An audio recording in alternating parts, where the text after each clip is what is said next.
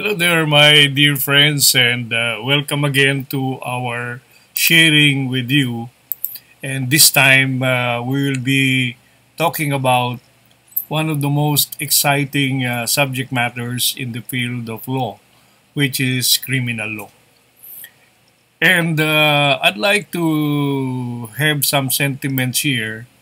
I'd like to dedicate this to the person that has become so close to me and uh, who gave me not only my human life but also my capacity to survive a lot of trials in this world. I'm referring to Captain Santos Vargas Bisquera of Lipcan, Banged, Abra. He happens to be my own father. And you notice his first name is Santos, which is being used as a first name in the Ilocos region. And that is where I get my Santos in my first name.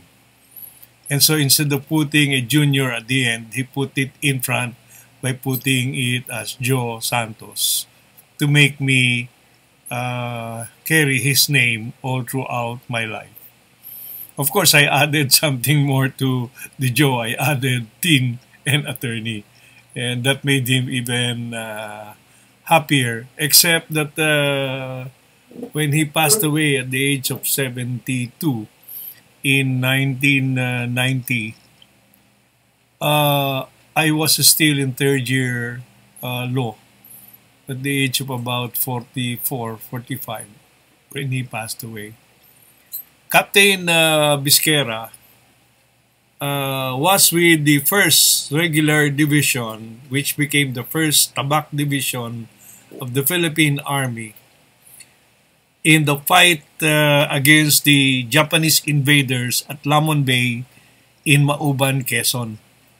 And later on, uh, withdrew with the first uh, division to the uh, Bataan Peninsula to, fa- to face the invading forces of the Japanese. Uh, we always kid him when he said that he was able to run away uh, and escape the death march to join the underground movement.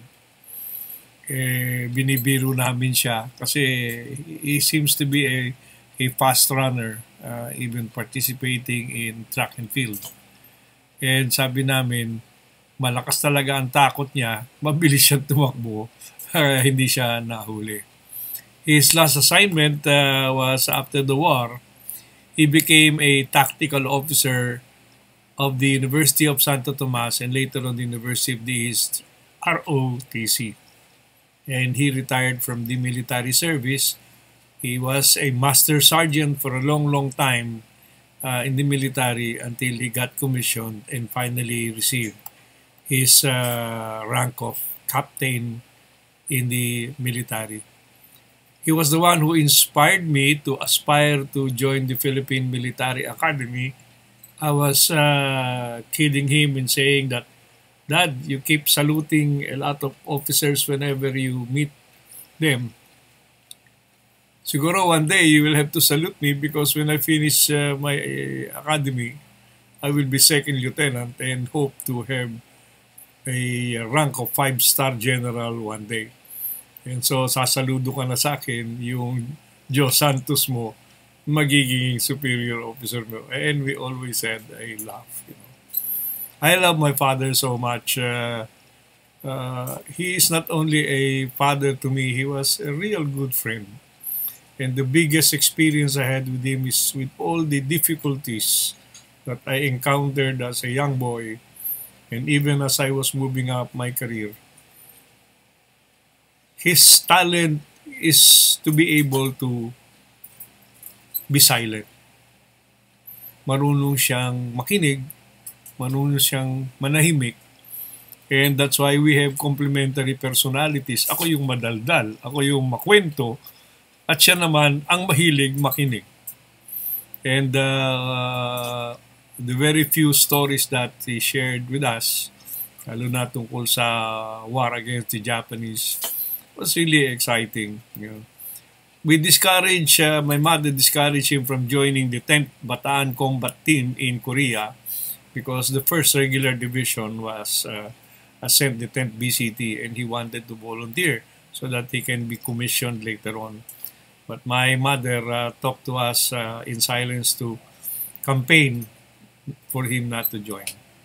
So matagal siya bago naging uh, commissioned officer. So without much ado, we will now start with the principles of criminal law, our episode 1. We will have a number of episodes. But we are changing the approach uh, when we after we finish with the principles of criminal law. We immediately go to uh, the discussion of crimes against persons. And so uh, even before we can talk about aggravating circumstance, uh, justifying, exempting circumstance, mitigating circumstance, and its impact on uh, the penalties, we would already go through by a, by way of a flow chart to discussing the crimes against persons, which starts with parricide, you know, then murder and then homicide. And you will enjoy it uh, somehow because we will not uh, appear so technical in the circumstances. We will bring in the circumstances to show how it affects the categorization of the crimes. So this first episode we'll talk about the fundamental principles and let's start the ball rolling. I already mentioned about uh, my uh, dedication of this series on crimes uh, to Captain Santos Vargas Bisquera.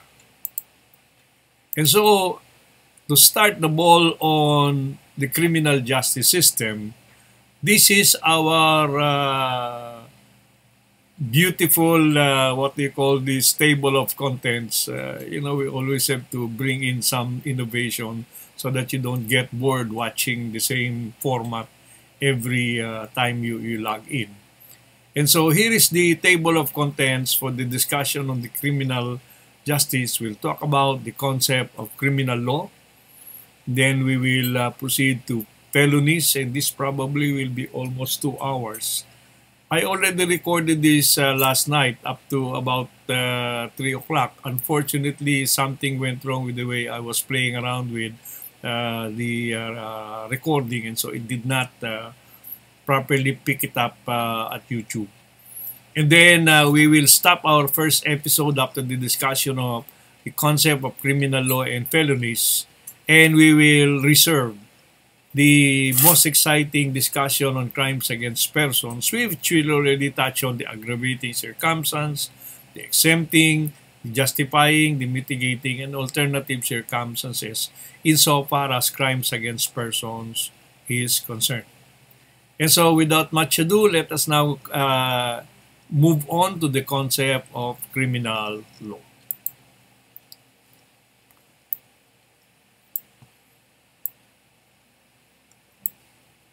Criminal law is the branch of substantive law which defines crimes, treats of their nature, and provides for their punishment. And uh, it would be very good for us to backtrack in order to look at the bigger picture on where criminal law came to be positioned in our judicial system.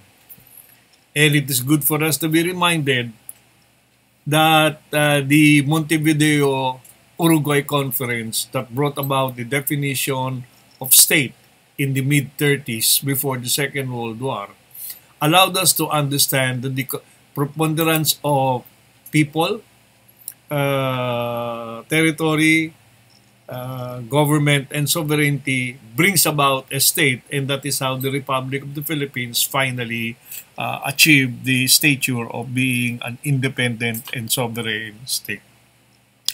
That is not as, as beautiful as trying to understand that when a state is formed, the most beautiful concept of the existence of a state is my favorite Latin uh, phrase, salus populi est suprema lex.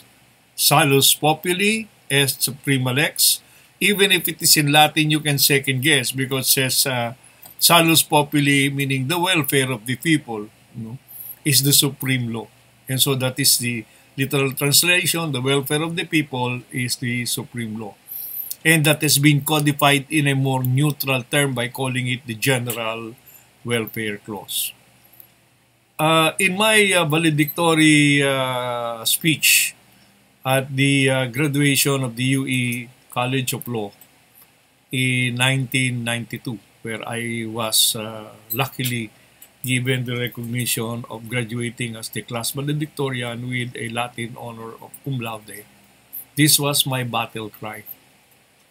Because I sincerely believe that the concept of supremacy of the law will have to serve the people, and so it is the welfare of the people that should come in as the primordial reason for law being in place. And so uh, we would relate this now that you cannot have a, a, a, a criminal law concept unless you start with a state and that state was created to serve the people and put welfare of the people as the highest law uh, that can ever prevail. Moving on now, we now say that uh, on the right side of our slide, while we are talking here of the welfare of the people, side by side and even probably higher than that is the concept of human rights. And so you say, where does uh, the concept of human rights reconcile with criminal law? Let's take a look because we already are trying to reconcile the role of criminal law in relation to the the, uh, the concept of the statehood of a nation. And so on human rights, we essentially uh, would, re- would remember the people's inalienable right to life, to liberty, and to property, which is enshrined in the Bill of Rights of the Constitution. Let us again remind ourselves that the reason why our people, 110 million, have organized the Republic of the Philippines and we continue to support the existence of our country and our government because this kind of system ensures that the inalienable human right to life, to liberty, and to property is guaranteed by way of the agreement between the government and its people. And so, uh, the main reason why we, we can keep uh, human rights uh, covering our uh, right to life, to liberty and property is because we have structured our society, our governmental system, so that we have a social order. We have a common arrangement among ourselves to keep a certain uh, level of activity that we complement each other eh, by way of allowing us to enjoy our life, our liberty and property without any disruption. And the protection of human rights calls for our state, our government, our social structure to take decisive action whenever our social order of ensuring life, liberty, and property is disrupted. And so this becomes the feed by way of how human rights and criminal law get to be interconnected. That in our desire to have a social order where everybody will enjoy his life, his liberty, and his property as a, as as a fundamental foundation for human rights. It is the creation of criminal law that ensures that any disruption in the social order is immediately addressed in order that society can continue to survive and exist under the concept of peace and uh, tranquility for our people. And so here, police power of the state, the uh, capacity of the state to implement the so-called social order, the set of rules that we have all agreed to keep among ourselves to make this society a peaceful and happy society, becomes now in effect the manifestation of our desire for social order and therefore the implementation of the general welfare clause. And for us to be able to keep that social order pursuing the general welfare clause, the authority of the sovereign people, the inherent power, police power, is given to our government precisely as a mechanism for decisive, decisive action in order to uh, ensure there is no disruption in the social order. So yun po ang ang gandang pagkaka-connect-connect. Nag-organize tayo ng ating state with the creation of people, territory, government sovereignty. Nandun po yung very very uh, critical component of people. And the people are the source of the creation of government. And so therefore, with this particular creation of a state, automatically we are saying that the highest priority of these people is essentially their uh, general welfare, yung kabutihan nila. And so that becomes the highest, the supreme law. And in the process, that kind of supreme law of general welfare demands that the human right in favor of life, liberty, or property should continue to be maintained. And we designed our social system. We designed our communities.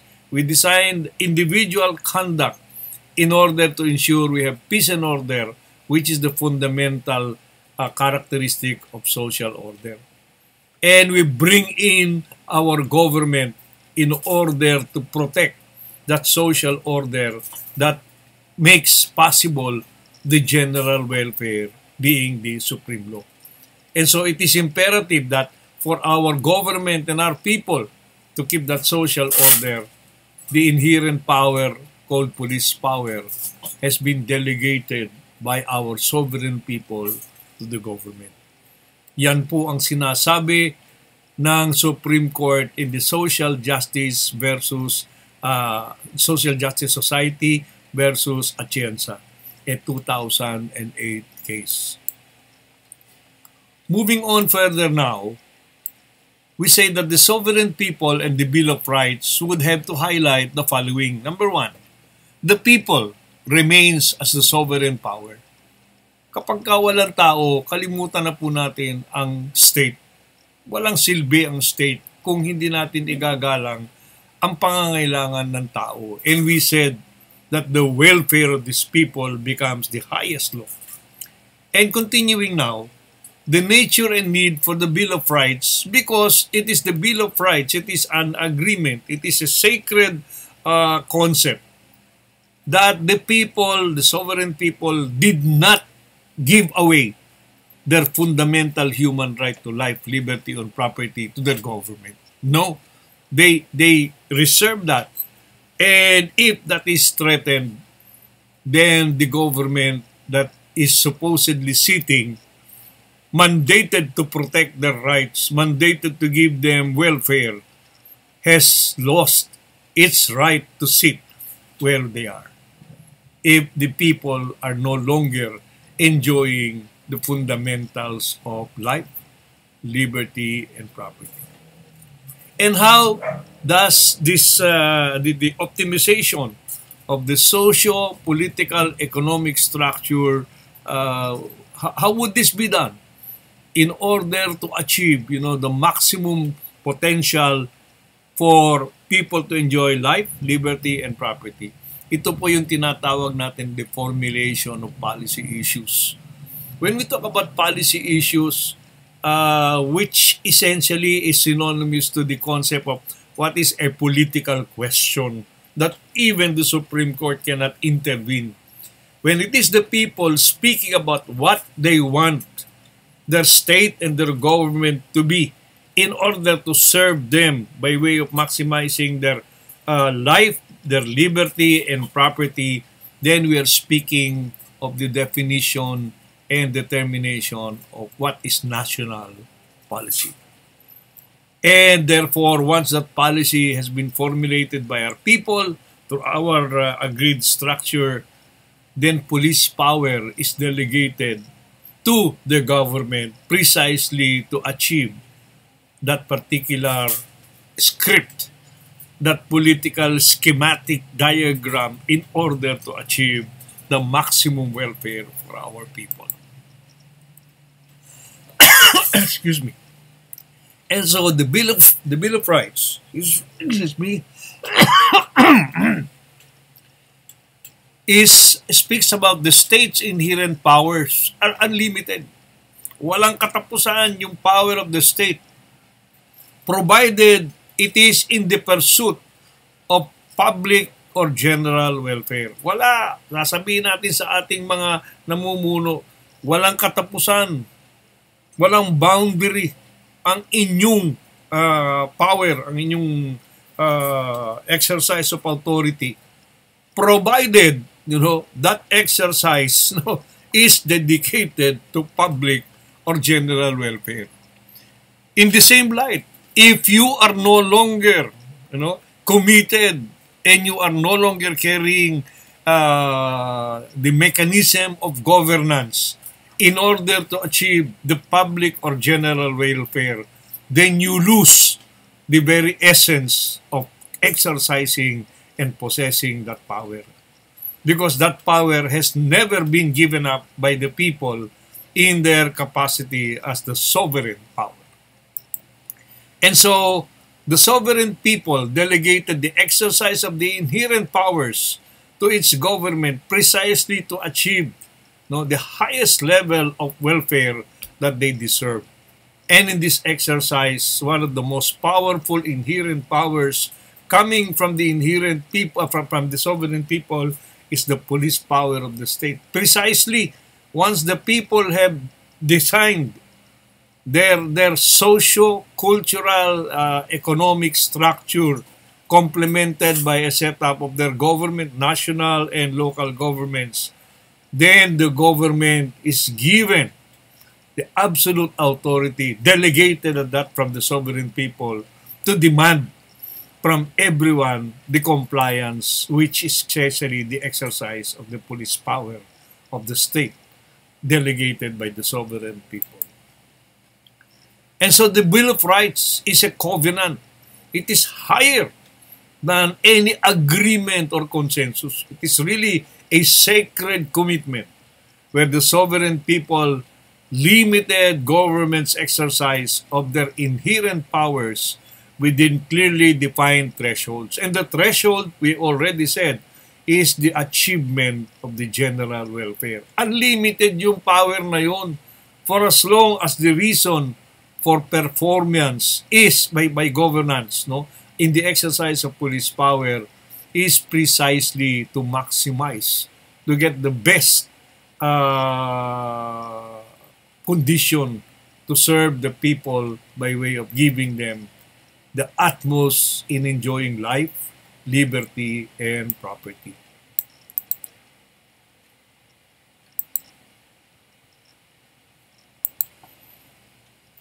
And so, the police or regulatory power of the state, we will now uh, deal with that, essentially is the plenary power vested in the legislature to make statutes to promote the health, morals, peace, education, good order or safety, and the general welfare of the people.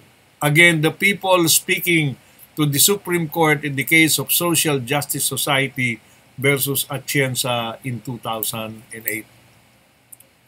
And so the power of the state to enact legislation that may interfere with personal liberty or property is to promote the general welfare. In effect, we are saying here that the police power can be exercised by the government, you know, and that can even interfere with the concept of liberty and property for each individual for as long as that is surrendered in favor of promoting the general welfare.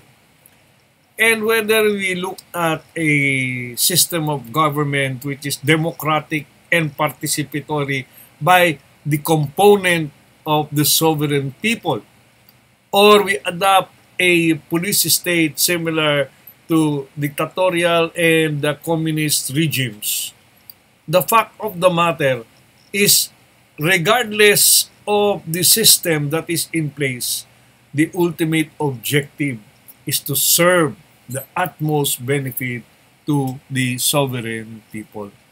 Kaya lang, it is in the exercise of uh, this particular power where government uh, can take a stronger role, you know, that in a democracy, the people themselves say, kami ang may power, and when we no longer see that you people running our government, our society, is no longer achieving the welfare that we demand, then we have the right to kick you out.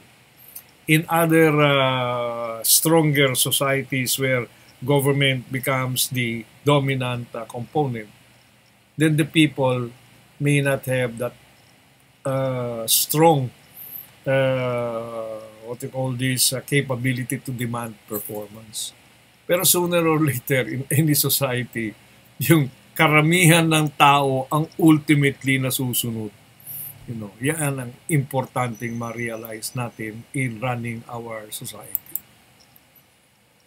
And so the inherent power of a state to regulate behavior and enforce public order is to ensure the public welfare, security, health, and safety. Now, it would be interesting to visit what are the concepts or theories, if we may want to use that very bad word, theories, that govern criminal law. The first of which is the classical theory. And it's very good to go slow and listen to this underlying structural concept of what criminal law should evolve. Under the classical theory, it says man is essentially a moral creature with an absolute free will to choose between good versus evil. Napakaganda po itong concept na ito ng isang tao, no?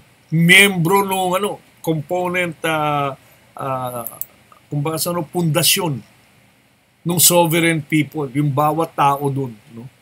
Is supposed to be a moral creature. Ano ibig sabihin ng moral creature? That inherently in himself, no?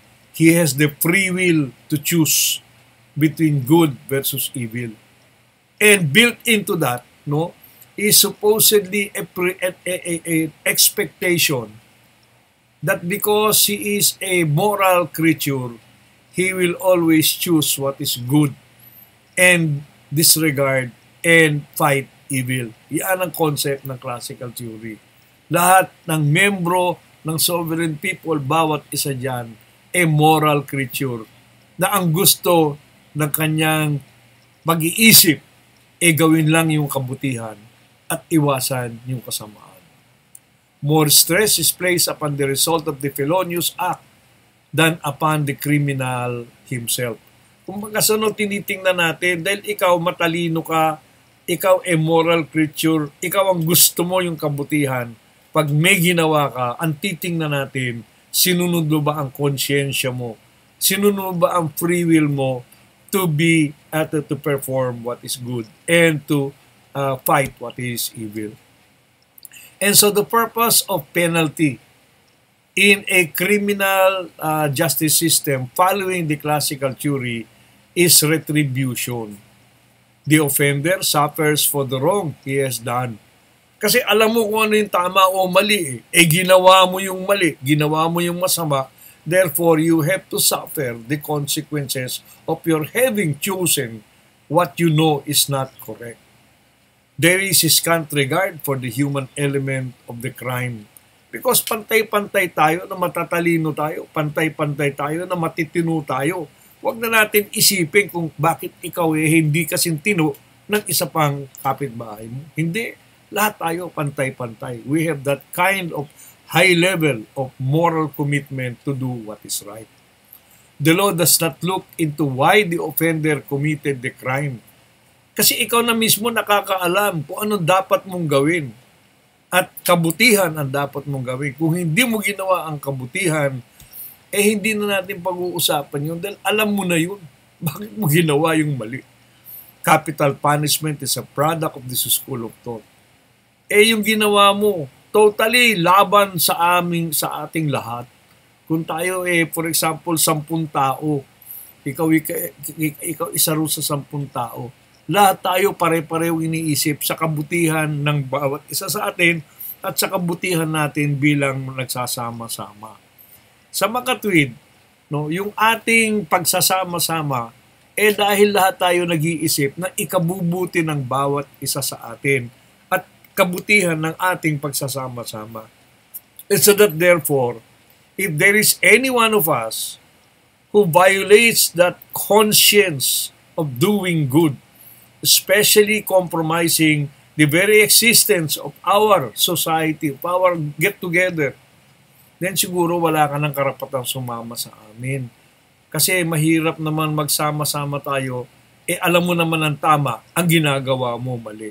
Sa makatuwid siguro, dapat mawala ka na sa mundo. And that is where capital punishment becomes the ultimate conclusion. Dahil dapat maging matino ka at matino ka eh. Eh pinili mo hindi maging matino, eh di hindi ka nakasama sa human society. Pero dahil wala kang membership, kumbaga sa ano, dahil wala kang, uh, you, you are not performing in accordance with the expectation of a morally upright person. So, dapat pugutan ka na ng ulo para hindi ka na makagulo sa uh, sa, sa ating human society. Man is regarded as a moral creature who understands right from wrong so that when he commits a wrong, he must be prepared to accept the punishment therefore. He in effect loses his franchise, his right to exist, because his right to exist is premise that he is a moral creature committed to do good not only for himself but for the society the people, his neighbors, you know, where he belongs to. Pag hindi niya ginawa yung kabutihan na yun, wala na siyang karapatan na nandun sa society na yun. Kaya tatanggalin na siya. No? Eh kung tatanggalin na siya, siguro the easiest way is tanggalin na siya forever para hindi na rin siya gayahin ng iba. Ano? At hindi na rin siya makagulo. See, very beautiful concept under the classical theory that would rationalize why the death penalty has to be maintained. Eh kaya lang ang problema, ang presumption natin, pag in-implement yung death penalty, no, talaga namang yung taong yun, eh sinira niya yung kanyang commitment na gawin ang tama. Dito pumapasok ngayon yung concept ng positivist theory. Because under the positivist theory, it adopts the philosophy that man is subdued occasionally by a strange and morbid phenomenon, which conditions him to do wrong in spite of or contrary to his volition. So crime is essentially a social and natural phenomenon. Kumbaga sa ano, eh sa sampu, ine-expect natin paminsan-minsan, merong tao dyan na alam niya yung tama o mali at alam niyang gawin yung tama. But something goes wrong in the way he lives his life that leads him to uh, perform or to do acts that are he knows are wrong. And while under the classical theory, he suffers the consequences by way of the punishment. Under the positivist theory, sinasabi natin, baka naman hindi totally kagustuhan niya yun. Baka mayroong mga factors, may mga influences that prevented him from doing what is right because he knows what is right. And so the purpose of penalty is reformation. Oh, eh nagkamali ka. Siguro dapat balikan mo kung ano yung dapat na gawin mo para isang matinong tao ka. And so there is great respect for the human element because the offender is regarded as socially sick. Nagkaroon lang siya ng diferensya na nawala sa kanyang line of thought na dapat matino ang gagawin niya who needs treatment, not punishment. So dapat kung natin siya dahil kasama natin siya dapat tulungan natin siyang bumalik sa pag-iisip ng tama. Rather than pugutan natin ang ulo niya para mawala na siya. No, because that is that is convenient for uh, the, the, the society, yung pagsasama-sama. Pero hindi tayo naging uh, mapagmahal sa kanya dahil kung may sakit siya, hindi siya dapat parusahan, kundi dapat tulungan siya to come back to his senses so that he becomes again a morally upright person. And so crimes are regarded as social phenomena which constrains a person to do wrong although not of his own volition. Mano, meron dahilan kung bakit kumisan hindi niya nagagalang yung kanyang dapat matinong kilos. And so having said that, there is a school of thought that tries to get the best out of the classical theory versus the positivist uh, concept. And this is called the eclectic or mixed philosophy. This combines both positivist and classical thinking. Crimes that are economic and social in nature should be dealt with in a positive manner. The law is more compassionate and heinous, manifestly antisocial crimes should be dealt with in a classical manner, thus capital punishment.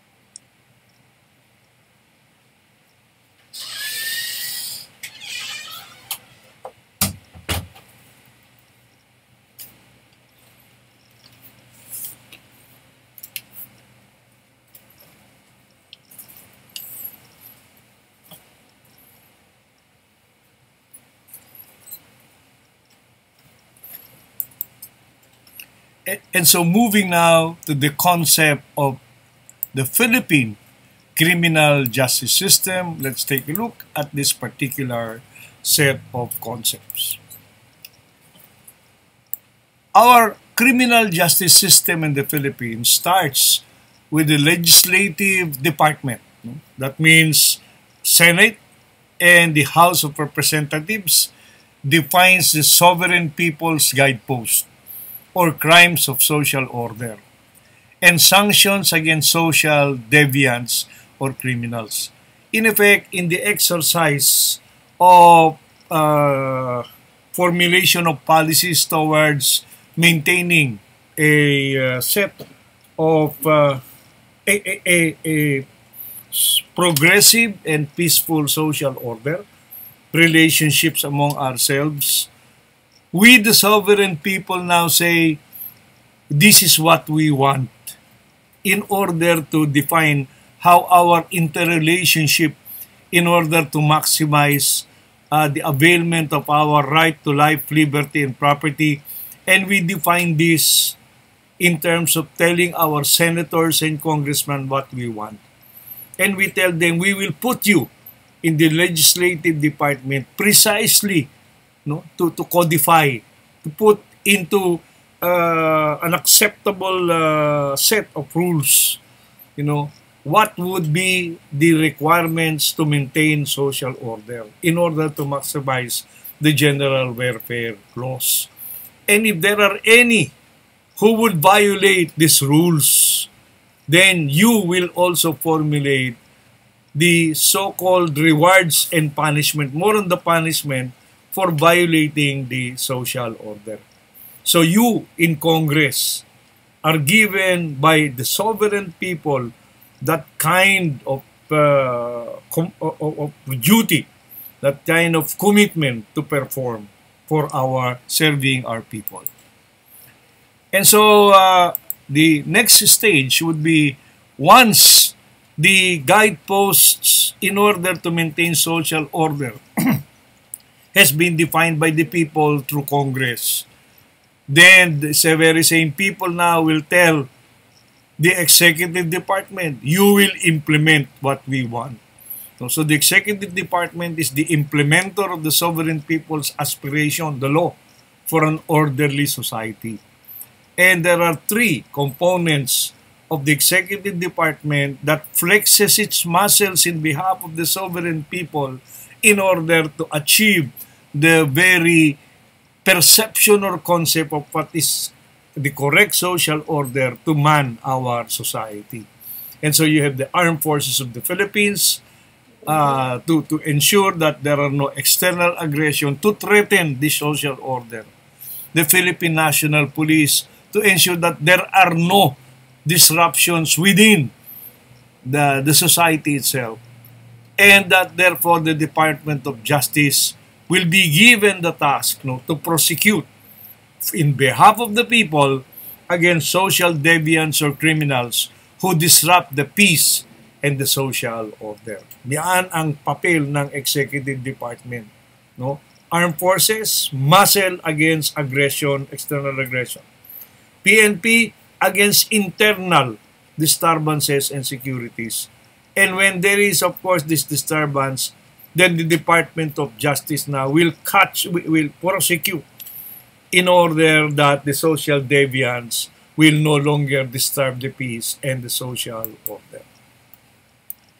Continuing now, the final component of this particular criminal justice system would be the judicial department. Kasi nandiyan na yung legislative department, nandiyan na executive department, pasok ang judicial department. The judicial department now isolates the social deviants no, to due process of law. No? Pakikinggan. O, ano ba yung batas na ginawa natin that is in place? Ikaw, ano bang ginawa mo na dapat sinusunod mo yung batas na yon as a moral you know, uh, as a moral creature who knows what is right and what is wrong. And what is right has been defined by all of the people by consensus through the representatives. No? Ini-implement na ngayon ng, ng, ng executive department kung ikaw hindi ka sumusunod. Ngayon, we will give you the last chance to say, eh, totoo bang hindi mo sinunod? Okay. Ngayon, eh, patutunayan. Siyempre, ang presumption eh, ikaw ay sinunod mo. Pero sinasabi, no, by evidence, by facts na ipepresent na hindi mo nga sinunod. O sagutin mo. Yan, due process of law, di ba? Kung totoo hindi, uh, hindi po totoo yan. Eh. Inimbento lang po nila yan. Galit sila sa akin eh. Kasi mas gwapo ako sa kanila, sabihin niya, no? And so sabihin, oh, eh, yun naman pala eh. Wala naman palang basihan. O sige, palayain ito, case dismiss. Or, ay, teka muna, eh, pumatay ka ng tao eh. Oo. Eh, hindi ka naman dapat pumapatay ng tao dahil hindi ka rin pwedeng patayin dapat nang yung papatay sa iyo makakalusot. Hmm. Eh, ba't ka pumatay? The, he will now be asked to defend himself. Eh, kasi ho, kaysa ako mapatay, eh, inunahan ko na ho siya. Defense of self-defense, di ba? Okay.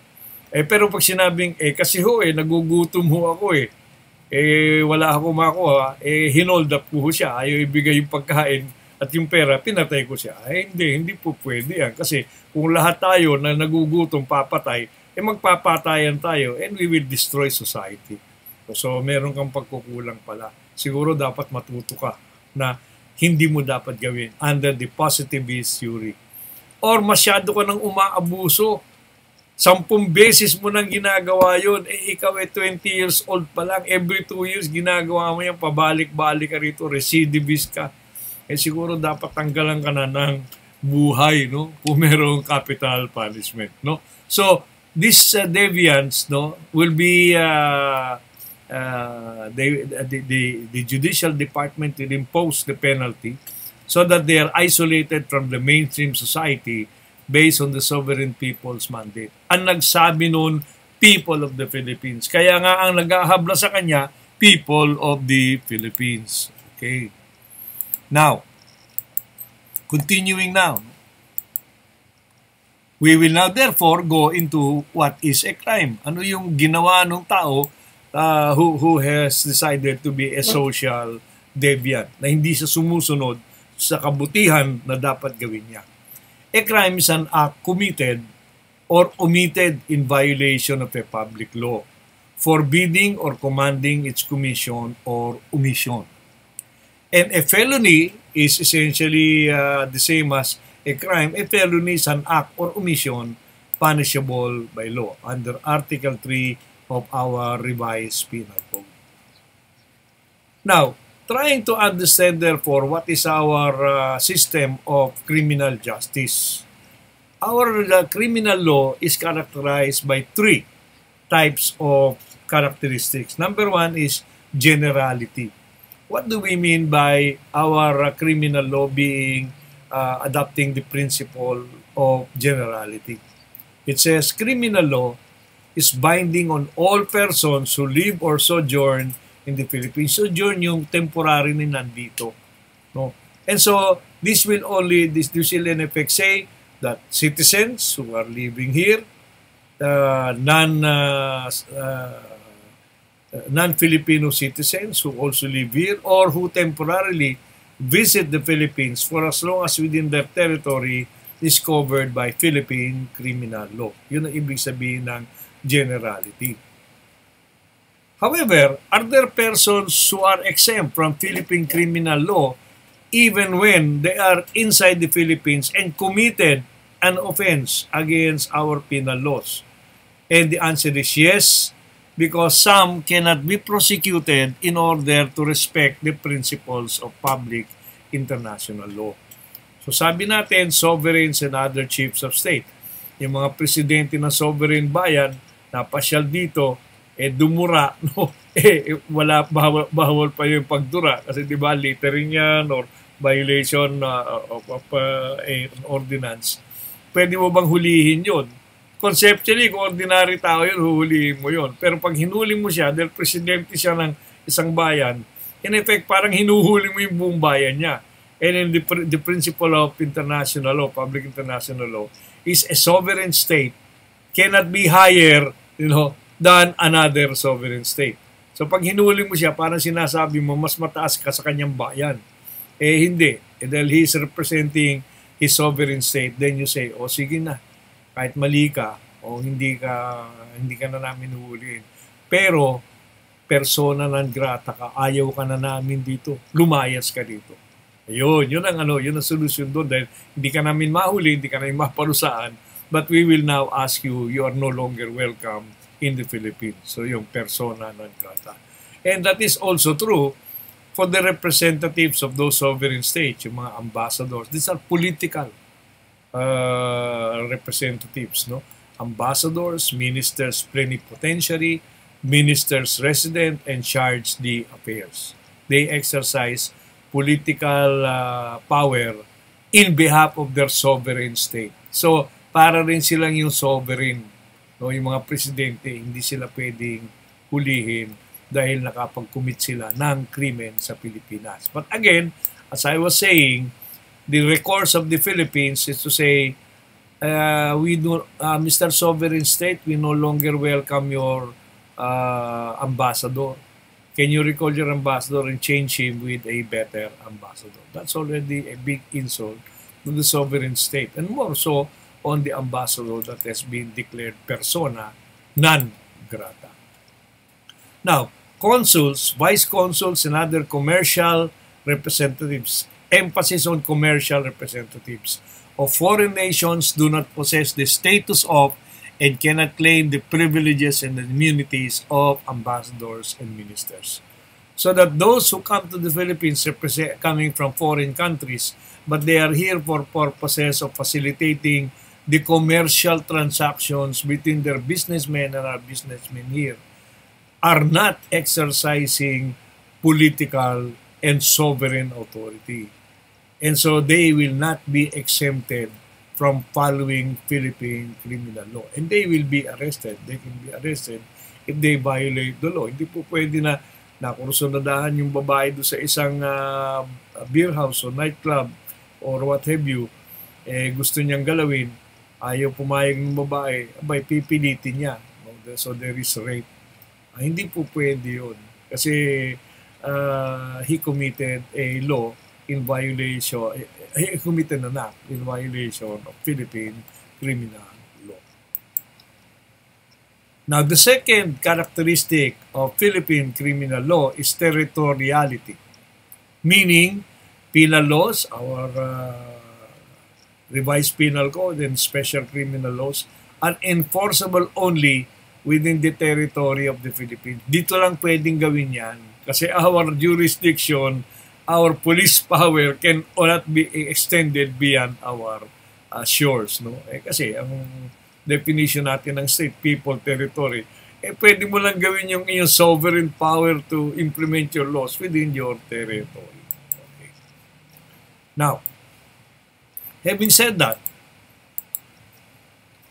under territoriality, are there instances naman when a person is outside the Philippines but still liable under Philippine criminal law. Wala siya dito sa loob ng 7,100 island. Pero pwede mo siyang arestuhin in effect at dalin dito at parusahan within uh, Philippine criminal jurisdiction. The answer is yes. Number one, the offender commits an offense while on board a Philippine ship or airship.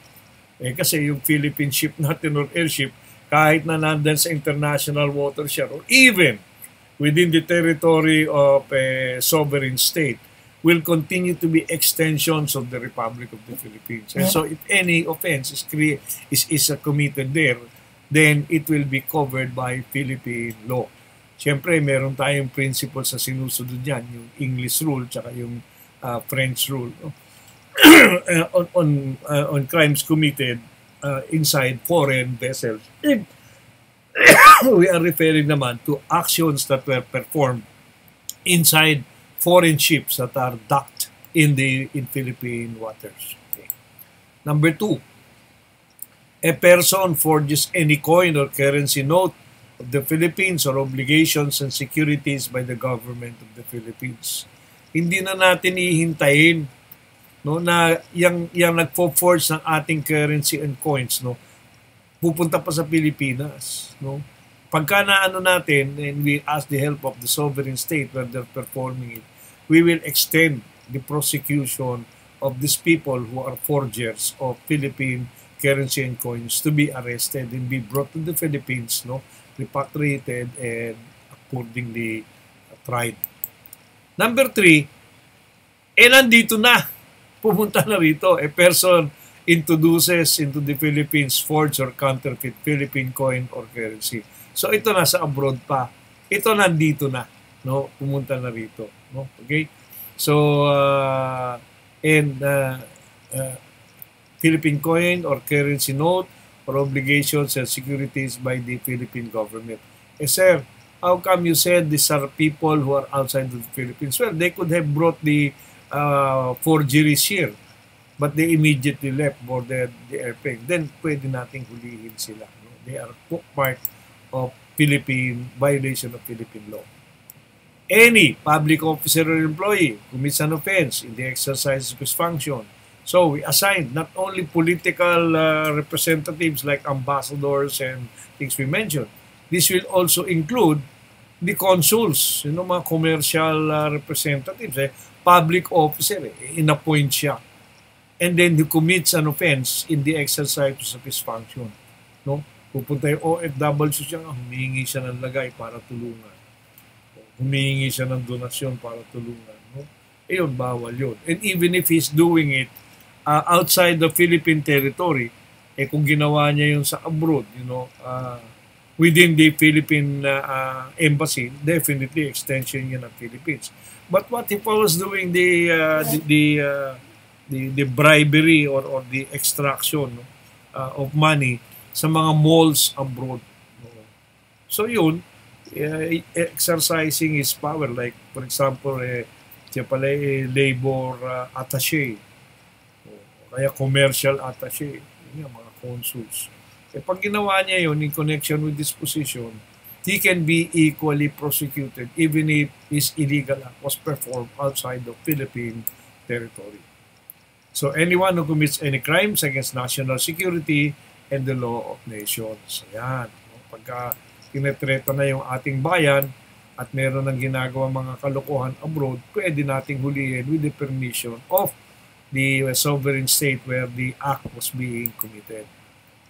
The third uh, uh, characteristic of our Philippine criminal law is prospectivity, which means that our penal law, yung kanina, territory.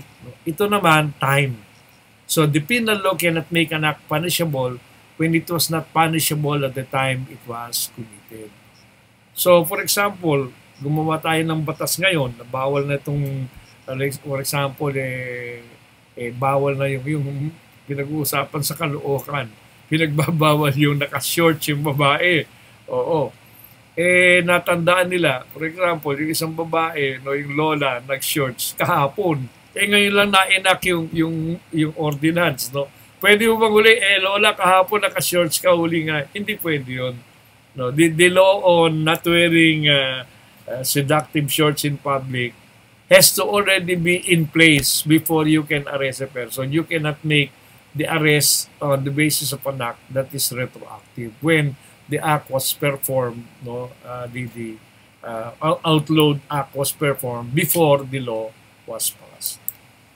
And so this brings up the Constitution because there is a provision in the Philippine Constitution, nasa Bill of Rights, no ex post facto law can be enacted. And what is an ex post facto law? It is an it's a criminal statute that punishes actions retroactively, criminalizing an act that was legal when originally performed. So yon, hindi po pwede sabihin, oh, lahat ng mga mag-short pants na babae huhulihin effective today and retroactive sa lahat ng mga nag-shorts for 2021. Yung, yung, yung unang provision na lahat ng mag-short pants ngayon in public hulihin, okay yun.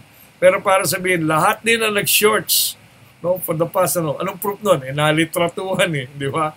Oo, oo. Eh, nagkaroon pa ng public performance, sumayaw-sayaw pa sa stage eh naka-shorts, ayun, pwede bang hulihin? The answer is no.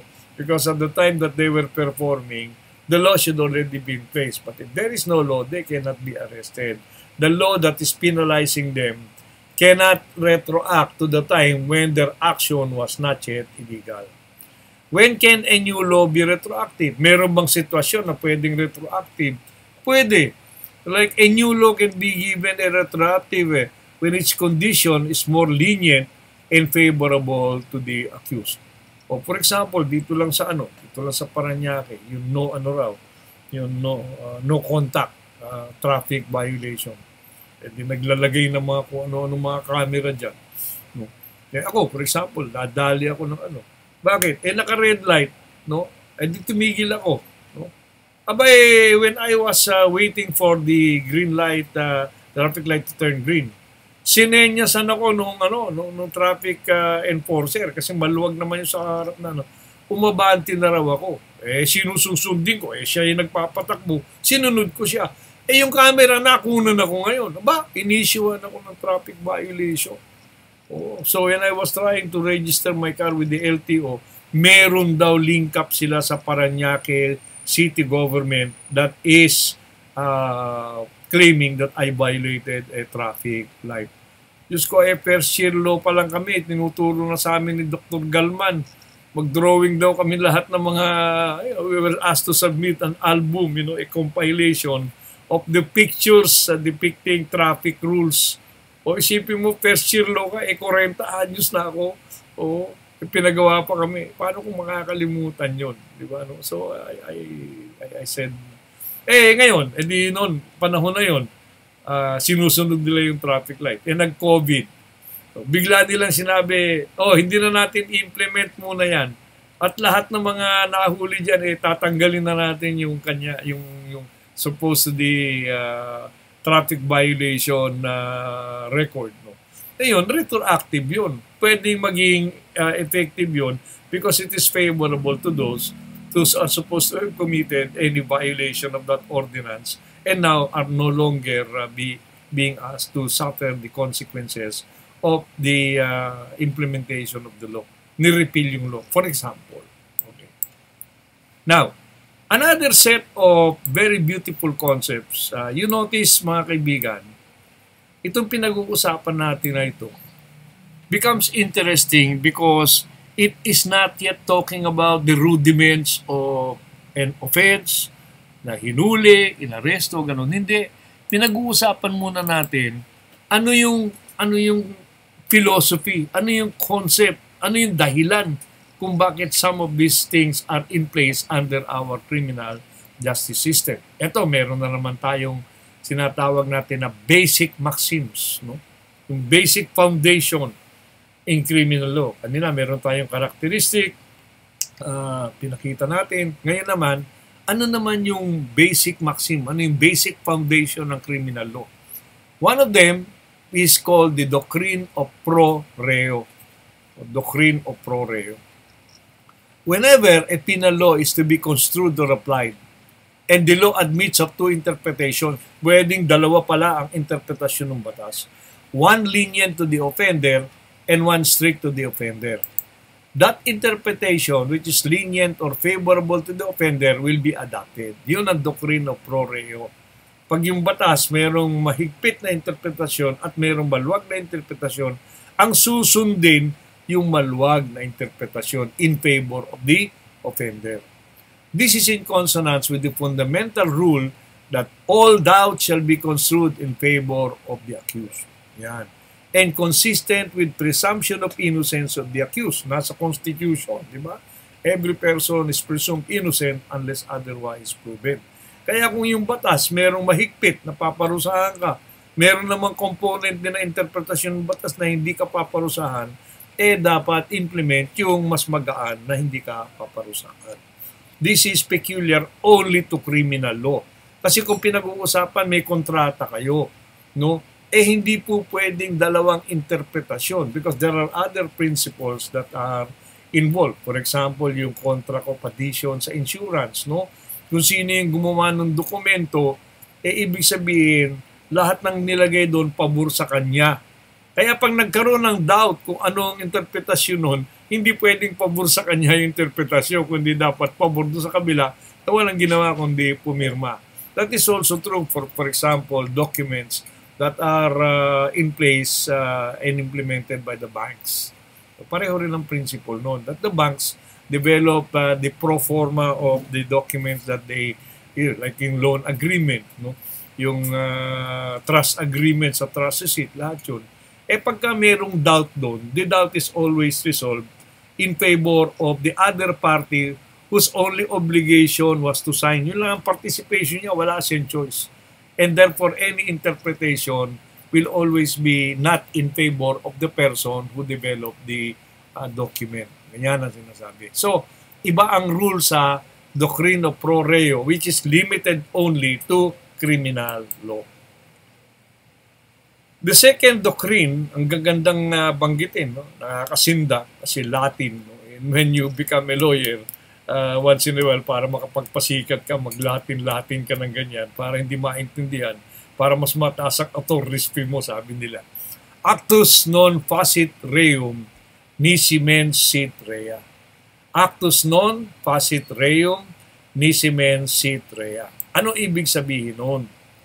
The act cannot be criminal where the mind is not criminal. Uh, the act cannot be criminal where the mind is not criminal. This is true to a felony characterized by dolo, which is by intent. No? Merong intent na gawin no dolo. But not a felony resulting from culpa. Kasi culpa, pagpapabaya. So, hindi po pwede na sabihin mo na yung mind niya criminal, kaya hindi niya ginawa, hindi nagpabaya lang siya, kaya culpa. No? This maxim is not an absolute one because it is not applied to culpable felonies or those that result from negligence. So sa negligence, no, hindi po pwede na sabi mo, eh wala naman akong criminal mind. Hindi ganun yun. No, pag inutos yun under, uh, mamaya titingnan natin yung malum in se versus malum prohibitum. Kapag ka inutos yun under a special law, eh wala kang choice kundi sundin yun. Hindi po pwedeng, eh wala naman ako masamang intention na i-violate yun eh. Hindi pinag-uusapan yun. Binviolate mo ba o hindi? Okay? Next. The uh, theory of protective or utilitarian theory. Ano ibig sabihin ito? The primary purpose of the punishment under criminal law is protection of society from actual and potential wrongdoers. Napaka-importante po and I'd like to emphasize this. Remember when you talk about criminal law, you're talking about social order. Kung paano tayo mga magsasama-sama para yung ating pagsasama-sama in peace, no? Naggagalangan tayo, nagbibig, nagbibigayan tayo. It will maximize our availment of our human right to life, to liberty, and to property. And so if anyone violates our right as a sovereign people to have an orderly society, if anyone violates that, the main purpose under the protective o utilitarian theory, the main purpose of penalizing anyone who violates the law in order to, uh, to, to keep the peace in society is intended to protect society. Against what? Against yung mga nanggugulo o manggugulo. So the courts, in exacting retribution for the wronged society, should direct the punishment to potential or actual wrongdoers. Yung mga talagang gumawa ng pagkakasala or yung may balak pang i-violate yung anong yun once they commit the wrongdoing. Since criminal law is directed against acts and omissions which the society does not approve. Consistent with this theory, the mala prohibita principle which punishes an offense regardless of malice or criminal intent should not be utilized to apply the full hardness of the special law. Ano, special law yan eh. Hindi uh, through culpa, through negligence. Eh wag naman daw sagarin na yung kalupitan nung parusa dahil wala namang intent talaga na gawin. Kahit na yung problema, hindi tinatanggap kasi the absence of intent when the uh, when it is malum prohibitum. Okay? Mas sinasabi, hindi mo sinunod yung batas. And so that therefore, utos ng batas yan, hindi mo sinunod, mapaparusahan ka. At ang pag, pwedeng mangyari na kaya, kaya mo nagawa yan, hindi mo sinunod kasi nagpabaya ka, negligence, no? o failure to, or by mistake. Okay? So, additional uh, maxim in criminal law, nullium crimen, nullia peona sine lehe nulong krimen, nula peona sine lehe. Ano ibig sabihin nun mga kaibigan? There is no crime when there is no law punishing the same. Binanggit na natin kanina yon, di ba? And this is true to civil law countries but not to common law countries. Because of this maxim, there is no common law crime in the Philippines. No matter how wrongful, evil, or bad the act is, if there is no law defining the act, the same is not considered a crime. Kaya nga kumisan, pag uhulihin ka, sabihin sa iyo eh, eh ano ho ba ang kasalanan ko? Ano bang batas ang aking hindi nasunod o violate?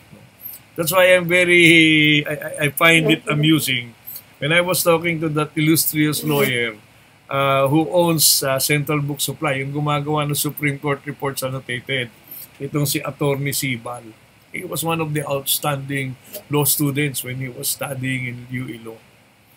Sabi niya sa akin, Dean, you know, whenever I uh, I am in the car, I always have a little uh, booklet eh. I mean, halos ganito lang yung itsura nun eh. Manipis lang. Oh, kulay pula. Kalagay Land Transportation and Traffic Code. Eh siyang printer nun, no? Eh yun eh ano pa, eh softbound pa. Diba? Pagka pinala siya ng pulis, at alam niya yung pulis na yun eh, wala naman siyang kasalanan, pero gusto lang magmerienda, bubuksan daw niya yung kanyang uh, uh, window. Ipapakita niya yon. Sir, ito ho yung Land Transportation and Traffic Code. Pwede ho ba, eh tingnan nyo lang, ipakita nyo lang sa akin, ano po yung trans, uh, traffic rule na na-violate ko. Eh madalas daw, eh yung, yung ano, yung police, hindi alam kung ano yung sasabihin. No? So, hindi, nakakalusot siya. No? Kasi yung mga yan kuminsan talaga, nangingikil lang, no, nang bubuisit. No? Kaya kuminsan, pag nakita, that, uh, there was a time when uh, my cars would have that uh, registered uh, uh, special plate from the Integrated Bar of the Philippines as lawyer. Kasi pag nakita yung plate mo lawyer, yung mga pulis mag-iisip kung paparahin ka. Kung wala ka namang kasalanan, di ba? Alanganin na gusto ka lang parahin para kwartan pag lawyer, ang thinking nila, ay nako, hindi bibigay yan, makikipag-philosopher, eh, maya pa-aresto ka pa for graft and corruption, di ba, and bribery. So, nakakalusot ka na. No? Nakakalusot ka. Eh, kung minsan, you know, this uh, special plates, may expiration period. Sabi sa paparahin ka naman, no? Dahil expired na yun. Sabi mo, hindi ho, pupunta na ho sa IBP para i-renew na ho yan, sir. Pasensya na ho kayo. And you know, when you are a lawyer, it always pays not to be arrogant. No? Eh, when a police officer uh, comes to you, siyempre meron naman siguro siyang basa, batas na pinagbabasihan kahit na gusto na niyang mangikil. No? So, igalang mo siya. Pero magpakilala ka. Sabi mo, Sir, pasensya na ho kayo. Ako ay si Atty. Bisquera. Eh, ano po ba ang pagkukulang ko? Eh, sir, tumawid ho kayo kasi ho, red light na eh. Eh, syempre, alam mo, hindi ka tumawid ng red light. Sabi mo lang, uh, sir, hindi ho red light. Pero kung sa tingin nyo red light, pagpasensyahan nyo na ho, hindi ko siguro napansin. Pero alam ko ho, hindi ho red light. Pasensya na kayo, sir.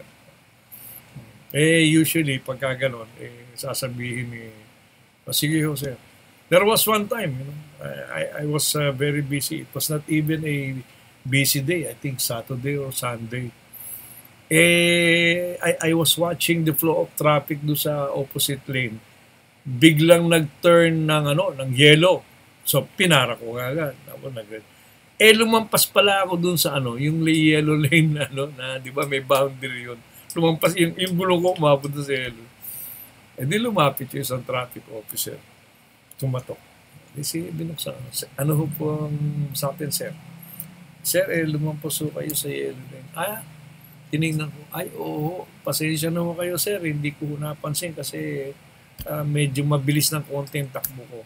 Biniro ko na lang yung pulis. Kasi ho, sir, eh, nauuna ho ako eh. eh. Gusto ko naghanap ng, ng Jollibee man lang para maka, makadumi. O, so, sa susunod ho, uh, sisiguruhin ko hindi mangyayari yan. Pasensya na kayo. O, sige ho, sir. Kasi nagpakilala ako, attorney ako. Pero siguro kung hindi, kukwartahan na ako. So, continuing. Common law crimes are wrongful acts which the community society condemns as contemptible, even though there is no law declaring the act criminal. Not any law punishing an act or omission may be valid as a criminal law. If the law punishing an act is ambiguous, it is null and void. Now, ito na yung gusto kong uh, pag-usapan natin, yung tinatawag na malum inse versus malum prohibitum. In the case of crime malum in se, they say that all violations uh, contained in the revised penal code are supposed to be malum in se, which means the act uh, being defined is inherently evil or bad or per se wrongful. Yun ang ibig sabihin ng malum in se.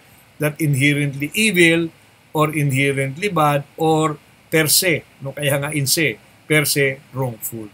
Okay.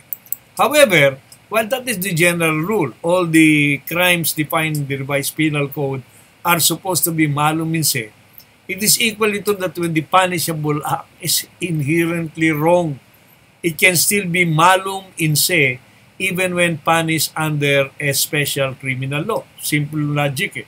Ang sinasabi natin, all the crimes that are defined in the revised penal code are malum in se. Ergo, the conclusion is, di ba, inclusio unius, exclusio ulterius. Therefore, if it is not included in the revised penal code, it must be only, it is not malum in se. It is not inherently evil.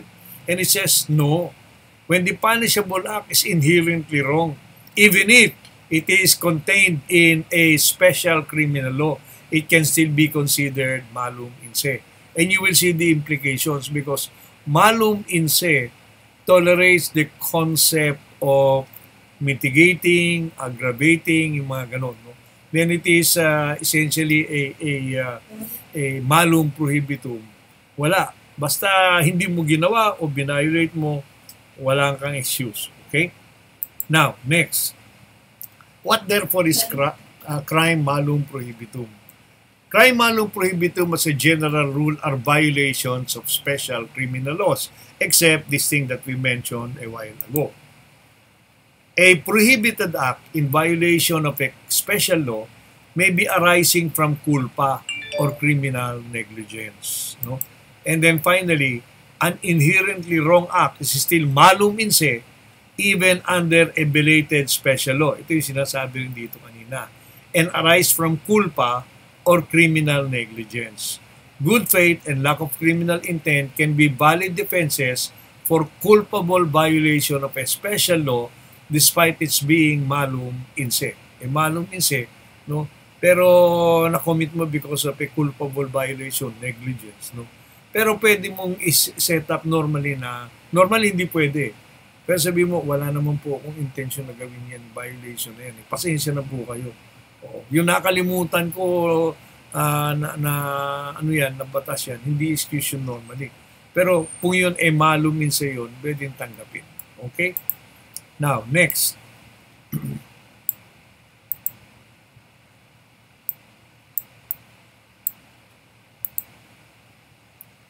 It is good not to compare crimes that are under the revised penal code and crimes that are defined under special criminal law. For example, in the case of the offender's moral trait, crimes under the revised penal code consider the moral trait of the offender following the positivist concept. But in the case of special criminal law, the moral trait of the offender is not considered merong restriction sa special criminal law, sinunod mo ba o hindi? Hindi mo sinunod, hindi natin pag-uusapan kung anong klase kang offender. Okay. Next, good faith as a defense. In the case of crimes contained in the revised penal code, good faith and no criminal intent is a valid defense for crimes committed by dolo, not by culpa. Kasi meron din mga crimes committed by culpa under the revised penal code. In the case of special criminal law, good faith is not a valid defense. Ang usapan ay sundin mo yan. Hindi pwede sabihin na, eh wala naman ako kung masamang intention eh. That is not acceptable. No? Basta hindi mo sinunod, eh special criminal law yan. Crimes degree of accomplishment. In the case of crimes under the revised penal code, katulad nga ng, uh, for example, uh, homicide or murder or parricide, merong frustrated and attempted uh, offenses. Hindi natuloy or hindi namatay kasi natulungan ng, uh, ng doktor. So, hindi consummated, kundi frustrated lang. Or the elements were not all performed, so it is only an attempted criminal offense. And that is considered in crimes contained in the revised penal code. But for offenses that are in special criminal law, it is only the offense, violation of the special criminal law that is consummated, which is considered. So, hindi pinoconsider yung frustrated or tempted if it is special criminal law. Mitigating and aggravating circumstance. This also complements in effect the moral trait. Mitigating and aggravating considered as to moral trait. Kasi pag aggravating, pinapakita niya na kinumit niya yung crime, dinagdagan pa niya ng, ng, uh, ng, ng mabigat na dahilan. No? Katulad, pumatay na nga siya, ginawa pa niya yung pagpatay, no? pinag-isipan niya, evident premeditation. Ginawa niya yung pagpatay, hinintay pa niya na lumindol o bumagyo. Nung nagkakagulo, tsaka niya ginawa. Or mitigating, mitigating circumstance na nung nagawa niya yung pagkukulang niya, nagsisi siya, sumurrender naman siya. Voluntary surrender is a mitigating circumstance. Now, in special criminal law, no mitigating or aggravating circumstance. Kung ano yung pinagbabawal o yung kailangan gawin at hindi mo ginawa, you will be uh, you will be prosecuted for violation of the special criminal law without any mitigating or aggravating circumstance. Then participation. For crimes under the revised penal code, there is a distinction of the penalties when you are the principal, when you are the accomplice, or you are only the accessory. In the case of uh, crimes committed under special criminal law, kahit na principal ka, accomplice ka, accessory ka, pantay-pantay, lahat kayo may kasalanan in the same weight. Okay? So now uh, we have in effect covered the concept of criminal law. Now, we will now try to uh, cover felonies. Ito, medyo mahaba-haba rin ng konti. No, uh, last night, I tried not to cover this and uh, plan to do this on a uh, uh, second round. Pero siguro, pasukan na rin natin. Interesting kasi ito eh.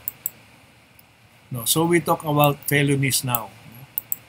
Eh, dito sa felonies, dito papasok yung mistake of fact, dito papasok yung uh, aberratio ictus, you know, uh, error in persone, yung ganun ba, and uh, praeter intentione, and then yung impossible crime. So let's take a look. Very interesting. So it says, simulan muna natin, an or omission punishable by law is committed by means of deceit pero hindi yung deceit panluloko. Ang ibig sabihin ng deceit dolo dito with intent. With intent. Yun ang ibig sabihin ng deceit dito. Medyo for some reason uh, those who coined the criminal law must have used strongly deceit. Kasi yung deceit panluloko eh. Hindi yun. O, ang ibig sabihin is with criminal intent. May balak talaga. Versus a crime that is committed by fault, which is culpa. So dito nang gagaling yung dolo, which is intent. Yung culpa, no intent, but merong fault arising from, uh, what we call this, from, from mistake. Tingnan natin. According to this listing, it says, a crime that is committed by dolo is an act performed, uh, the act performed is with deliberate intent. Ayun, ang very clear meaning ng dolo. Deliberate, sinadya, at meron talagang balak gawin, intent. Yan. Yan ang crimes against dolo. So, kung biyan ay religion, yung tinatawag natin ay full uh, grievous offense, full uh, knowledge, and full consent. So, deliberate intent. Yan. On the other hand, the concept of offenses committed by culpa or fault is that there is fault, may pagkukulang when the wrongful act results from ito yung pagkukulang, imprudence. Yung word imprudence is the opposite of prudence and prudence is care, pag-iingat. Kaya pag hindi ka nag-ingat, ang tawag sa yun, wala kang prudence, no? And therefore, imprudent ka. So, hindi ka nag-ingat. So, that is your fault, not being careful. Negligence, pabaya, that is your fault. Okay? Lack of foresight, hindi mo naisip na kung masyadong mabilis ang takbo ng sasakyan mo, pwede kang makasagasa. No? Again, yung on lack of foresight is your fault. And lack of skill, you know, you started playing around with the gun, hindi mo naman pala naiintindihan kung paano na, nag, nag-ooperate ang gun, pumutok yung gun, nakasakit. No? Then that is also, uh, walang intent, deliberate intent to kill, pero merong culpa because of your lack of skill in playing around with a gun. Criminal intent need not be proven to establish the offense. Hindi mo kailangan patunayan na criminal intent when the crime was committed through culpa. So ito, yung merong fault, may culpa, imprudence, negligence, lack of foresight. You do not need to prove uh, criminal intent. No?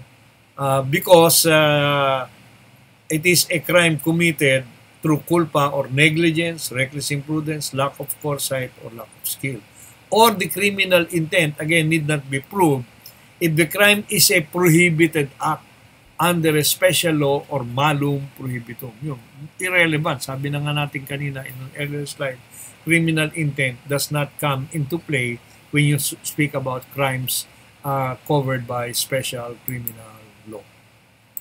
Continuing now, it is always very important to remind ourselves on the difference between intent and motive. No? Intent versus motive. Yung intent is the use of a particular means to bring about a desired result. So, gumamit ka ng baril, gumamit ka ng kutsilyo, gumamit ka ng sasakyan, no? And the use of those means, no, would show you what is the intent in order to kill, for example. On the other hand, yung motive naman is the moving power which impels one to do an act. No? And dito, sinasabi, motive, oops, sorry, the compelling reason comes before the intent, means of execution. Dapat may motibo. Yung motibo ang nagtutulak para gawin yung gustong gawing krimen. Okay. So ano motibo mo? Bakit mo pinapatay yung yung uh, asawa uh, which is parricide? Hindi papasok ngayon kasi eh, insured ka, ikaw yung uh, insured siya, ikaw ang beneficiary, gusto mo magkapera. So, your motive is uh, money and your intent is to poison him. You know, that is the means that you use, no? Okay. O siguro, ang motibo mo, mamatay na siya para ikaw makinabang doon sa insurance. Kaya anong ano mo, ang intent, ang, ang intent mo, parati mong binubuisit, no? Parati mo nilalagyan ng ipis yung kanyang kape para magalit siya ng magalit, uminit kasi high blood. Okay. But a crime may be committed without a motive. Ang motive pumapasok mga kaibigan, usually in criminal prosecution, if there are no suspects. Merong biktima, patay. Hindi mo makita kung sinong pumatay, no? So meron kang mga suspects pero hindi mo ma-determine kung paano mo patutunayan. Then you establish dalawa o tatlo ang posibleng pumatay. Sino ang may motibo? Yeah, because the motive drives the uh, deliberate intent to kill. Kaya yung motive is becomes relevant only when the offender is not identified. There are option optional uh, suspects. No? But when the suspect is already nahuli sa akto, no? caught in the act, di ba?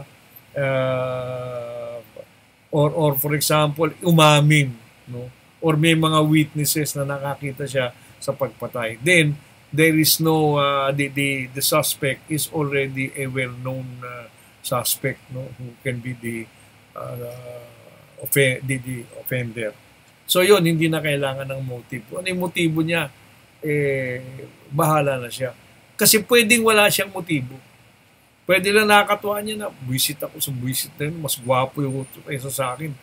So, motibo ko eh, wala. Wala akong motibo. Pero gagawin ko, eh, papatiring ko to para, mapa, para to, madapa. So, yan. Sasabihin, hindi ko sinasadya. Hindi cool pa. Hindi nag-ingat. Pero sa totoo lang, dolo yun. O, meron siyang deliberate intent na mapatid para mahulog. At therefore, mabiyak ang ulo. Okay, now next uh, here are some of the uh, concepts that will fall under the uh, scenario of criminal liability. Okay. And we say here, in criminal liability, lipat muna natin to no, para makita natin yung concept ng criminal liability. It says uh, under Article 4, any person committing a felony, delito, no, although the wrongful act done be different from that which he intended. So anybody who commits a wrong, maaari yung gusto niyang gawing pagkakamali, hindi yun ang nagawa niya. He would still be liable for the wrongful act that he did, although his, his, his intention, you know, intent, was not to perform, you know, he intended, was not to perform that particular act. Okay. And second, any person performing an act which would be an offense against persons or property were it not for the inherent impossibility of its accomplishment, or an account of employment of inadequate or uh, ineffectual means. Dito pumapasok yung pag-uusapan natin na impossible crimes. Okay.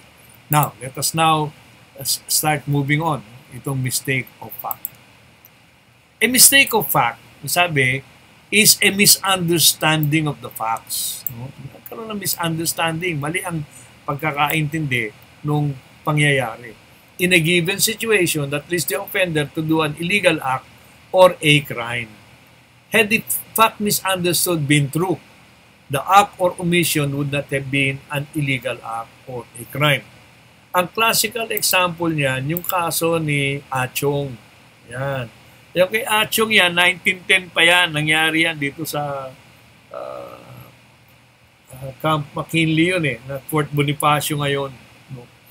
And in the case of Achong, no, ang nangyari, meron sila, meron siyang kaibigan na kasama niya, no, siya eh, cook siya, parang assistant sa isang barracks ng uh, military. So, eh, supposedly mga Amerikano.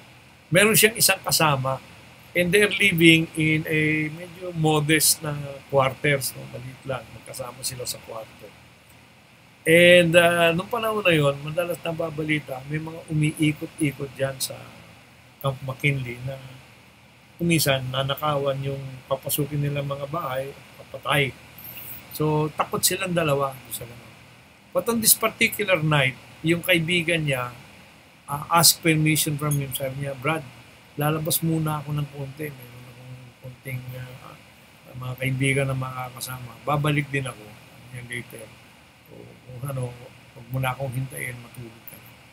So, Achong now, uh, before he went to bed, no, eh made sure na yung pinto, no, may harang na nilagyan niya ng, I think, aparador o silya, silya, para pagka binuksan yun na puwersa, meron pang kasangga na silya. So, a little later, nakakatulong siya, may naramdaman siya na tumutulak ng pinto. And so he, he challenged him, sino yan? Eh, ayaw sumagot. Meron ako rito kutsilyo, pagka pumasok ka, uh, papatay, sasaksakin kita, papatayin kita. Eh, di tumayo na siya, nakaabang siya sa pinto. Eh, naitulak yung pinto, no? Yung pinto, no, tumama dun sa silya, si Acho ngayon, tinamaan sa kanyang paa akala niya yung anong yun, eh, may pamalo kasi madilim na may pamalo o pinalo siya, sinaktan siya. Gumanti siya, sinaksak niya. Oh, sa madaling salita, na, na, napatay yung tao nung magliwanagan, eh hindi pala magnanakaw o, o, o ano, rubber yung nandun, yung pala yung kasama niya. Pero ang iniisip niya, magnanakaw yun. Yun ang mistake of fact niya. Na iniisip niya mali na kung yun talaga magnanakaw and therefore under threat siya, under the concept of self-defense, na delikado siya, no? pwede siyang mapatay. Karapatan niya na unahan yung taong yun. Pero meron siyang mistake of fact, hindi pala yung magnanakaw. Anong consequence kay Achong? Sabi ng Supreme Court nung panahon na 1950, 1910, eh, if Achong were correct, you know, that that was a robber, he would be right in trying to protect himself. That's why sinaksak. Nagkataon lang mali pala. So, he is not being penalized for committing that offense. Maganda yan kasi nung original uh, trial, nasintensya si Achong eh. Oo, ng homicide. Pero later on, binaligtad ng Supreme Court noong 1910 and said, hindi, yan ang example ng mistake of fact. Na kung iniisip niya, totoo nang nangyari, karapatan niya na mag-self-defense siya para sasakin yon. Okay? No, next.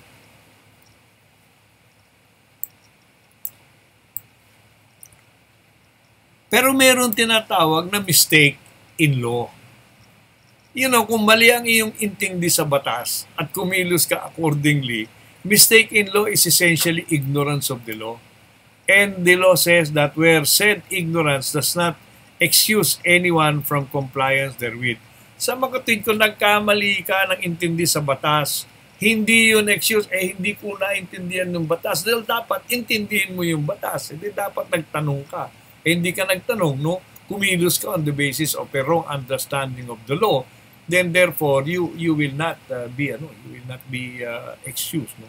Katulad nung ano, yung mga popular na tanong, Tony, eh paano ba yung asawa ko? Eh seven years nang hindi nagpapa, ano, hindi kami nagsasama. Eh di ibig sabihin, eh, pwede na namin i-annul yung marriage namin. Or pwede ko nag-declare siya na absentee husband. O tanong ko, bakit nasan yung ano, nasan yung asawa mo? Eh, sumakabilang bahay na eh. Akala ko nung una namatay, sumakabilang buhay. Nung pala ngayon, uso na yun, sumakabilang bahay, nandun lang sa kapitbahay kasi yung kapitbahay ang inaasawa. So, eh, ikaw naman, eh, meron din nung sumakabilang bahay sa aking bahay na may lalaki. Eh, gusto na ho namin magkanya-kanya na kami. Eh, seven years na ho kami nagsasama. O, mistake in law. Kasi akala, pagka yung tao, eh hindi na sila nagsasama, seven years, maanal yung marriage nila. Hindi totoo yun. Yung seven years na sinasabi, presumptive death. Diba? Na kung yung taong yun, eh, nawawala. And he was, uh, he was lost with the belief na namatay na. Then there can be an application for presumptive death. And sa ngayon, sa family code, yung presumptive death na yun for purposes of remarrying, 4 years lang. At kung for example, yung situation nung nawala yung tao, eh mas, malaki ang danger na patay siya. No? Like for example, he is a soldier in the military campaign. Marami nagkamatayan like Marawi. He could, his body cannot be found. No? So, the four years can now be uh, brought down to 2 years. So after 2 years, medyo yung babae, medyo naiinip na, hanap siya ng hanap, eh kasi may, may boyfriend din siya. So gusto niya magpakasal. Only for purpose of marrying, she now goes to court to pray, to petition for a declaration, a judicial declaration of presumptive death. Once the court issues that, then pwede na siyang magpakasal. Pero kung buhay yung asawa niya, ang lumalabas, even with the presumptive death, that becomes a bigamous marriage. Pero dahil in-recognize ng korte yung ano, yung yung yung supposed presa- uh, presumption of death, then hindi naman siya punishable for the uh, bigamous marriage. So yun ang ang mistake in law, yung intindi no 7 years, 4 years, at uh, 2 years. And yung 4 years at 2 years, that is only for purposes of remarrying. It is not for purposes of distributing the conjugal property or the estate of the missing spouse. Okay? So, and there should there has to be an expectation na namatay. Kaya kung nandyan lang siya na ibang kinakasama at gusto mo lang hiwalayan, that will not allow you to remarry. Okay? Now, when mistake of law can be used as a defense, pwede ba yon? Na may mali, mali ka sa intindi ng batas, pero kaya kumilos ka and you set that up as a defense para hindi ka maparusahan. There are four instances. When the law has not been published. Siyempre, publication is a requirement for the law to be binding. Second, when the defendant relied upon a law or statute that was later overturned or deemed unconstitutional. So may existing law, pero it was uh, reversed and it was declared unconstitutional. Hindi niya nalaman yun. O actually, technically, eh, ignorance of the law pa rin yun. Pero tinotolerate yun uh, for purposes of being uh, kind to the person. And then when the defendant relied upon a judicial decision, that was later overturned. Dito may batas na, na, na reverse. Ito may decision ng Supreme Court na na-overtaken. Ito, delikado ito. Kasi dapat ma-overturning, there has to be uh, there has to be what we call this a uh, a, a en bank decision to reverse a judicial precedence. Eh ngayon hindi eh. May existing batas. mag issue yung first division, second division, third division, labo-labo, and it does not agree with the uh, existing or prevailing jurisprudence. So dapat magkaroon ng en bank decision to reverse, you know. Eh hindi nga na ano, hindi nga na na overrule nga by way a subsequent decision pero it did not have any declaration na it overturned a previous decision. And then when the defendant relied upon an interpretation by an applicable official, humingi ka ng opinion sa Department of Justice, binigay. Humingi ka sa Solicitor General, ibinigay.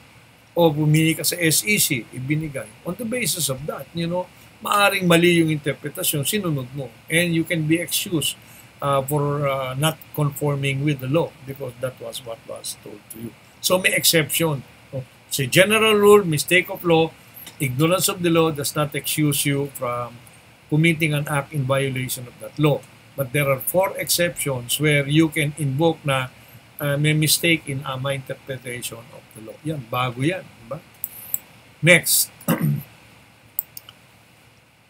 Here now, meron tayong mistake of fact. Tingnan natin yung error in persone. Okay. Ano naman yung error in persone? Ang error in persone is mistake in the identity of the victim. Here in this particular situation, there is, for example, an intended victim na papatayin. Okay. Pero ang nangyari, eh yung victim pala na gustong patayin, eh umalis. Nagpunta sa probinsya, nagpunta sa abroad, so hindi available. Ngayon, meron kamukha siya dumarating. Yun ang binaril noong uh, nung offender. So, let us take a look at whether the offender, uh, by making a mistake, kung sino yung babarilin, no, eh, magkakaroon ng kasalanan. Okay, let's take a look now.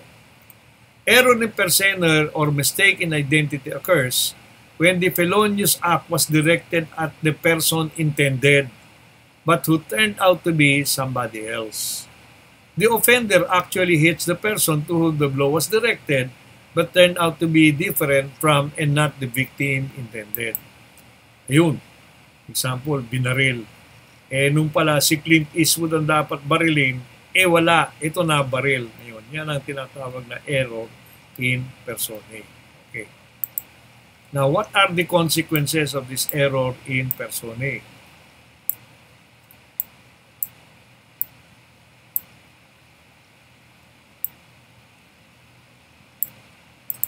Penalty to be imposed upon the principals when the crime committed is different from that intended. If the penalty prescribed for the felony committed be higher than that corresponding to the offense which the accused intended to commit. The penalty corresponding to the latter shall be imposed in its maximum period. Dito, eh murder yung intention eh. No? Pero although medyo may hawak din ng baril, siguro at least homicide. No? Eh ang gusto rin niyang ano, gawin doon sa taong uh, nawawala na akala niya ito, eh barilin din. No? Pero he knows that that person is uh, armed uh, not armed. So, meron siyang intended na, let's say, originally homicide pareho. Then, hindi applicable ito.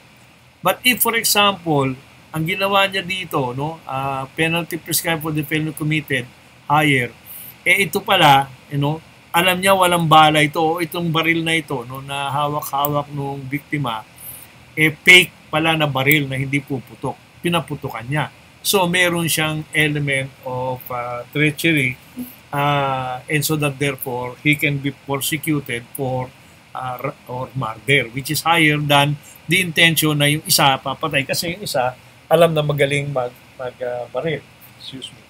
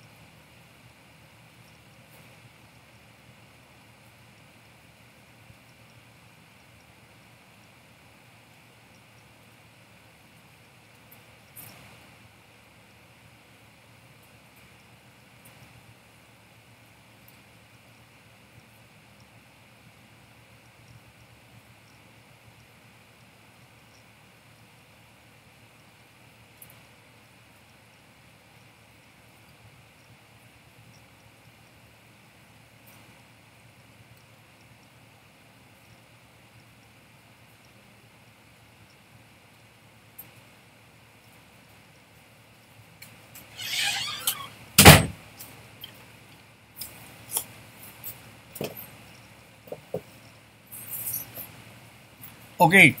So, uh, sorry for the interruption. The next one is uh, if the penalty prescribed for the felony committed be lower. No? Yung na-commit, for example, homicide lang, and then corresponding to the one which the accused intended to commit, eh, ang alam niya, mamarderin niya yun kasi walang baril yun. Then the penalty of the former, yung felony actually committed being lower, but it will be imposed on the maximum period. So, if the felony that was committed, for example, is murder, pero ang intention niya eh homicide lang, ang mangyayari, it will be the penalty for homicide but at its maximum period.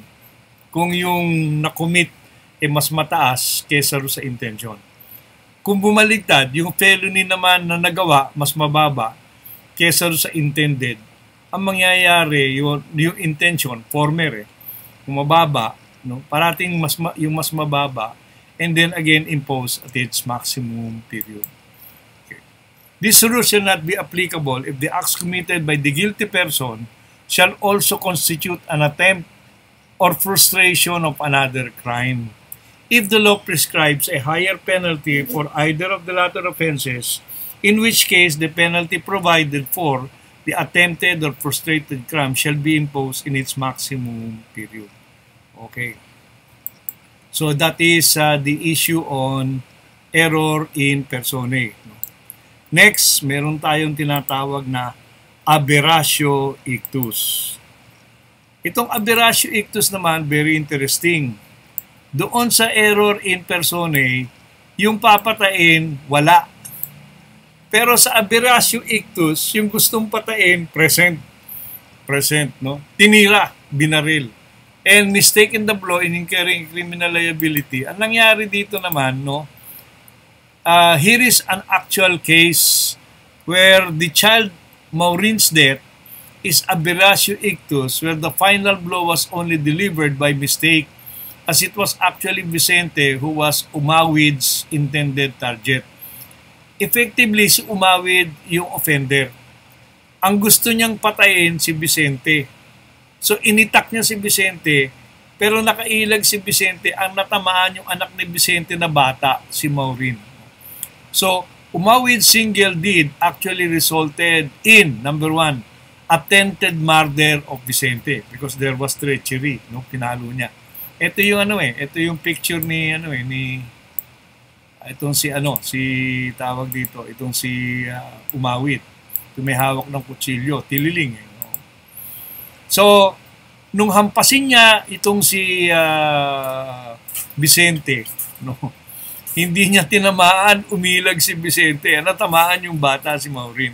So, when he hit, uh, when Umawid hit uh, Vicente, there was an attempted murder of Vicente. Attempted kasi hindi na kompleto, hindi na tamaan.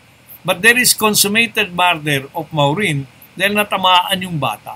Oh, tamaan yung bata. Okay, and so therefore, continuing now, it says under aberratio ictus, this is a compound crime where a single act produces two or more grave or less grave felonies.